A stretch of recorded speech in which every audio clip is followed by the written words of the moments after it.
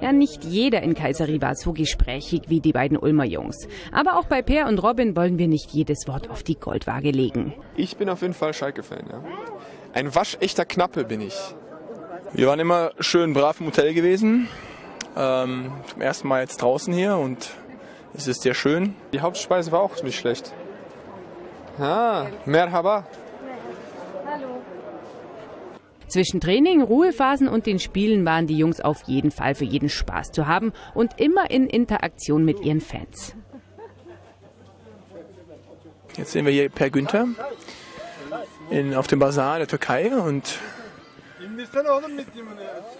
versucht was zu kaufen und ähm, wir werden jetzt schön gleich die Falschtechnik von Per Günther sehen. Hey, Gritsec.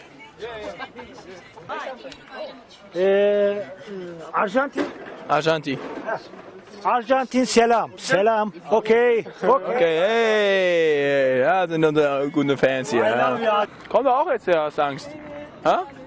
Wieso denn nicht? Komm doch jetzt mal her. Setz dich doch neben ihn. Das kommt ins Fernsehen, Freunde. Kommt ins Fernsehen, alles live. Nicht nur außerhalb des Teams, auch in der Mannschaft war die Stimmung gut. Der eine oder andere Spruch gegen einen großen Teamkollegen inklusive. Du bist ja länger als die Polizei erlaubt, ey. Wie ist denn die Luft da oben? Wie ist denn die Luft da oben, du Keck, du?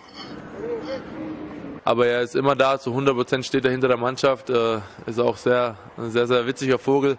Also mit dem macht es äh, sehr viel Spaß, die äh, Zeit zu verbringen. Ja, und Robin sind erstmal super Jungs, also auf jeden Fall abseits vom Feld. Die machen, sind immer lustig, haben immer gute Laune, ähm, sind immer auch so ein bisschen für, für, die, für die gute Laune im Team verantwortlich, weil sie einfach immer, immer fröhlich sind und immer versuchen, alle aufzuheitern. Und so schwer das nach dem frühen Aus der Nationalmannschaft auch fiel, alles in allem haben Per und Robin nicht nur uns und dem Team Spaß bereitet, sondern auch selbst die Zeit in Kayseri genossen.